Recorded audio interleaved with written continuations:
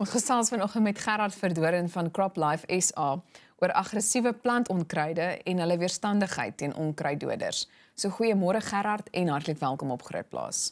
Goeiemôre Elsa, baie dankie. Goed, so ons fokus spesifiek op Palmer amarant. Wat is dit en hoekom is dit so 'n belangrike kwessie op die landbouagenda? Nou, hierdie is 'n plant wat ongelukkig Suid-Afrika binne getree het in 2018 het hy ongesien ingekom En toe die boere by Douglas hulle oë uitvee toe kom hulle agter maar hierse onkruid wat jy op amper geen manier met standaard onkruid beheermiddels kan beheer nie en dit het 'n skokgolf deur die gemeenskap gestuur want gewoonlik as mens jou onkruid bestuur reg aanpak met die regte spuitmengsels of die regte onkruiddoders kan jy die onkruide beheer selfs tussen die GM gewasse baie maklik maar hierdie ding het geen respons getoon op die onkruiddoders wat gespuit is nie. Hmm. Nou wanneer en waar is die eerste bevolking van die onkruid in Suid-Afrika waargeneem? Dit was so in die eerste kwartaal van 2018 op 'n plaas in Douglas gewees. Dit is 'n baie groot kommersiële plaas wat ehm um, besproeiing het oor hoofs op goed soos mielies en katoen en ehm um, daar was ook lucerne gewees en ehm um, dit het uitgekom in party van die landerye waar hulle um, geoes het en toe weer geplant het en skielik toe hulle oë uitvee te staan hierdie plante party plekke so hoog is omtrent um, 2 en 3 meter hoog en die plant het 'n geweldig aggressiewe groei met ander woorde dis anders as ons inheemse um amaranthus met ander woorde amaranthus hybrides wat die bekende misbrede is wat almal ken en wat geoes word as 'n eetbare gewas het hierdie plant 'n verskriklike aanwastempo en die oomblik as jy begin met hom karring en jy kap hom af in die lof in die grond, dan sprei dit sprei weer 'n keer uit en stoot wortels uit en die plante groei weer 'n keer. En ook die saad aanwas is ongelooflik. Dis iets so 600 000 saade per plant. So die aanwas tempo is iets verskrikliks en dit het die boere laat besef maar hier's 'n probleem wat hulle nog nooit van tevore mee te doen gehad het nie. Hmm. Is daar enige aanduiding hoe die onkruid in Suid-Afrika beland het? Hier is baie spekulasie, weet, maar um, ons het eers gedink aanvanklik wel, dis nou 'n kontroversiële stelling dat ingekom het met bevoor tweedehandse landbou toerusting. Ehm um, dit is nog nie bewys nie, maar wat eintlik uitgekom het in die laaste jare wat is daar daar's ander plekke ook van die Palmer amarant aangeteken in Suid-Afrika wat geen verband hou lyk dit met die bevolking in die Noord-Kaap nie. So ons is nie seker nie. Dit kan wees met landbou toerusting. Dit kan wees bevoor met um, plantmateriaal wat ingebring is vanaf die FSA want die plant het eintlik in die FSA ontstaan. So ons het 'n paar hipoteses, maar daar's geen bewys hoe die plant aangekom het nie. So dit is eintlik nou maar um, al geskiedenis. Die hoofding is wat gaan ons maak vir die toekoms? En watter bedreiging hou Palmer Amarant vir Suid-Afrikaanse boere in? Wel die kernbedreiging lê by die kontantgewas boere. Met ander woorde boere wat tipiese somergewasse plant soos mielies en katoen en die droë bone en sonneblomme en dan ook die langertermyn gewasse soos byvoorbeeld ehm um, lucerne. Nou in die gewone GM gewas mielies is die beginsel gewoonlik jy plant jou GM mielies en jy kan hom beheer of jy kan die onkruid beheer met die glifosaat tot op die V8 blaarstadium. Ehm um, selfs 'n bietjie later met ehm um, ehm um, ander onkruiddoders, maar ons het toe gesien dat selfs in daai geval waar die plante begin groei het, het hulle die glifosaat gebruik en die plant het geen respons getoon nie.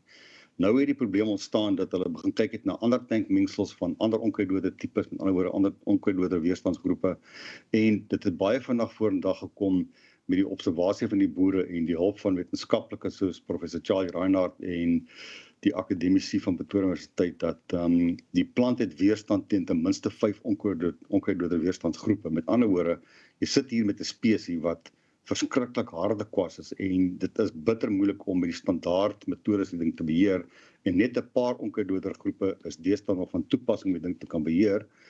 En die probleem kom in dat um, van daardie onkruiddoder groepe wat nog effektief is teen die palmer amarant kan nie aangewend word in breëblaar gewas nie want hulle is juis goed om breëblare dood te maak. So as jy byvoorbeeld probeer die palmer amarant beheer in jou sonneblom of kom ons sê 'n droë bone of iets soos lucerne, dan gaan jy die hele gewas en die onkruiddoder onkruid waarskynlik doodspuit. So dis 'n groot krisis nou vir die mielieboere, maar ek dink die uitdaging is ernstiger vir die breëblaar gewasboere vir die toekoms. En gegee word die wyse waarop die onkruid alreeds weerstand teen sommige onkruiddoders toon, is daar maniere om dit onder beheer te bring? Daar is. Dit gaan oor 'n baie baie ernstige en 'n blitsige uitwissingsprogram. Nou weet ek jy party mense sê ons kan nie praat van uitwissing nie. Ons het die standpunt ingeneem by Kroppe Suid-Afrika en ons onkruiddoder weerstandsgroep om die plant aan te vat en uit te wis uit Suid-Afrika uit. Net soos wat ons jare gelede gemaak het met polio as 'n siekte by die mense en dit dit gaan oor meganiese beheer. Met ander woorde, uittrek met die hand op stapels plaas, totaal uitbrand, uh, sanitasie van al jou voertuie se wiele en van enige landbouimplemente wat gebruik word in die landerye om seker te maak geen saad oorleef nie en dan ook deur 'n onkruiddoder beheerregime aan te pak waar jy voor oes of voorplant onkruiddoders spuit waar jy voor opkoms onkruiddoders spuit en waar jy na opkoms ook spuit met 'n kombinasie van onkruiddoders wat nog wel aktiwiteit teen die plant het en ook om seker te maak dat almal aanvaar dat elke moontlike enkele amarante spesies is 'n bedreiging vir die vir die boere want die die probleem ontstaan wat nou al bewys deur wetenskaplik is dat ehm um, die Palmer amarant het die vermoë om met ons inheemse amarante spesies te verbaste of te hibridiseer en dan draai noodwendig sy weerstand oor aan die inheemse spesies. So ons sit al klaar met 'n baie sterk aanduiding dat van die ander plante en van die hibride wat nou ontstaan al weerstand begin ontwikkel of alreeds het teen die onkruiddoders. So ons aanbeveling vir die boere is maak nie saak watter amarantus jy op jou plaas waarneem nie alle amarantus moet nou in die kontantgewasgebiede aangepak word en met mag en gemening uitgewis word met meganiese beheer, sterilisering met die korrekte grondvoorbereiding en ook deur die korrekte onkruiddoderkonasies aan te wend um, op grond van die dokumente wat ons saamgestel het en aan die landbougemeenskap beskikbaar gestel het vanaf Kroppe Suid-Afrika se onkruiddoderweerstandskomitee. Wat sê jy sê is die rol van die staat in die bekamping van die Palmer amarant? Wel, ek dink eintlik 'n traan weg hier so want die staat het die verantwoordelikheid om te kyk na die die beperking of bekamping van inheemse plante wat um, buite beheer raak en ook uitheemse plante wat die land binnekom en begin plekke oorneem. En ons het die departement landbou vandag eendag betrek by al die vergaderings en ons het toe besluit dat die plant moet geplaas word op die KARA 1 lyste. Met ander woorde die bewaring van landbouhulpbronne se um, indringerplante lys nommer 1 wat beteken die plant is onder kwarantyne uh, mag geen plantdele of plantsaad ingevoer word nie en wanneer daar van die plante in 'n gebied voorkom moet daar mates inkom om die plek te plek te kwarantyn tot en met die plant in daai gebied uitgewis is. Tot en met vandag toe hierdie staat nog nie die vermoë gehad om die regulasie te promulgeer nie. Alhoewel ons vir hulle gehelp het, ons het geskryf, hulle het 'n konsepregulasie gepubliseer einde van 2020 net voor Kersfees en toe het dit heeltemal stil geraak en die kommunikasie met hulle het geëindig want ons kan nie langer met hierdie rompslomp voorgaan waar hulle gedurende vra vir nuwe dokumente, nuwe dokumente nie. Hulle was deel van die proses en ons is uiters teleurgestel in die uitvoering van die staat se mandaat om hierdie plant te verklaar as 'n onkruid wat onder kwartyn geplaas kan word want op hierdie stadium met CropLife Suid-Afrika ons ons onkruidwederwesenskomitee ons bedryf wat die produkte verskaf en die landbougemeenskap geen statutêre maatreël om die plant onder beheer te kan bring nie. Hmm. Goed, wat is CropLife SA se aanbeveling aan gewasprodusente rakende die beheer van onkruid? Ons wil graag hê dat elke boer moet kennis neem van die twee inligtingskitse in Afrikaans en Engels wat ons die plant baie mooi omskryf met fotografie, met ander woorde om aan te dui hoe die plantjie lyk as hy jonk is, hoe die plant lyk as hy volwasse groei stadium en hoe die plant se blare lyk om te kan onderskei tussen die gewone inheemse pamarant, almarantus wat uh, amarantus wat in die land voorkom. So jy moet weet wat om jy werk eerste plek. Want as jy nie die vyand ken nie, kan jy die vyand nie aanvat nie. En dan bitter belangrik nog meer is die uitwissingsprogram wat ons aangedui het. Met ander woorde presies hoe jy stapsgewyse werk gaan met jou bewerkingspraktyke om vooropkoms die plant uit te klop met bepaalde chemie. As die plant wel opgekom het om uit te klop met brandmiddels byvoorbeeld paraquat en dan as die plant wel in gewasse voorkom, watter kombinasies van middels om te spuit om die plant met onkruiddoders beheer of onkruiddoders te kan beheer dan ook belangrik is as daar baie plante is, veral om landerye om jou werksmag in te stuur, die plant met die hand uithaal op bondels te plaas en heeltemal totaal uit te brand en op te volg as daar weer 'n herspuiting van die plante plaasvind. En die laaste stap is dan om te verseker dat alle landbouimplemente wat in sulke areas moontlik mag werk om te steriliseer dat die wiele en die binnekante van die plante uitgewas word en dat daai waswater heeltemal uitgeklop word met iets so bevoet natriumkloried om die plante se saad en dele te vernietig om seker te maak niks kan weer opkom nie. En wanneer voertuie moet ry van een blok op 'n plaas na 'n ander blok van 'n plaas en veral van een plaas na 'n ander plaas of op hoofpaaie om seker te maak dat daardie plant daardie voertuie geen plantmateriaal oor het wat kan versprei binnekant die gebied nie want dit is die manier waarop die plant oorgedra word.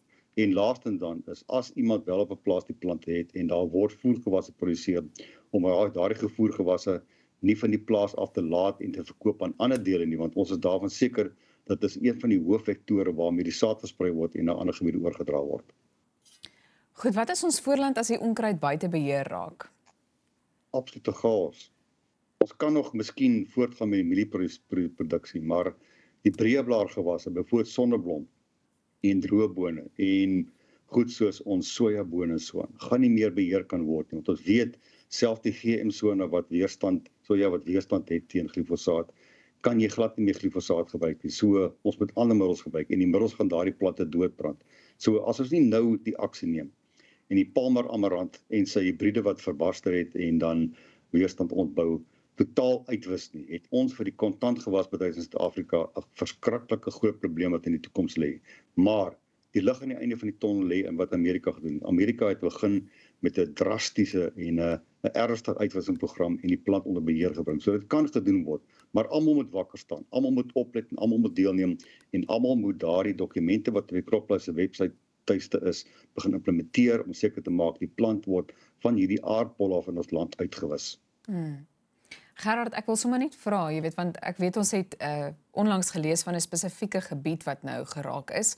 So is daar sommige gebiede of provinsies wat miskien 'n bietjie meer kennis moet neem as ander.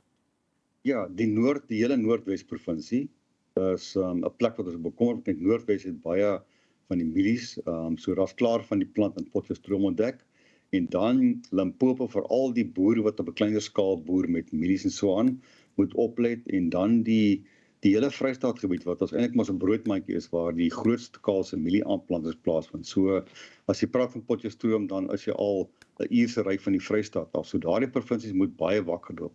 En dan ook die gedeeltes om die Drakensberge in KwaZulu-Natal waar daar ook baie mielies aangeplant word in daai wonderlike gunstige klimaat moet ook oplet. Maar dit beteken nie is al plekke nie. Ons sê vir alle landbouprodusente oor Suid-Afrika jy moet kontantgewasse plant hou julle oë oop want ons is bekommerd oor die moontlike vervoer van die saad deur voertuie en deur kontantgewasse wat gebruik word as voer vir diere wat na ander dele van die land afgevoer word. Hmm. Goed Gerard net uh, ter afsluiting. Uh hoekom moet mense in hierdie stadium kennis neem van hierdie uitdaging dalk net so half opsommend en ook miskien die belangrikheid van kundigheid, jy weet, um, en dat hulle julle miskien kan raadpleeg in die proses.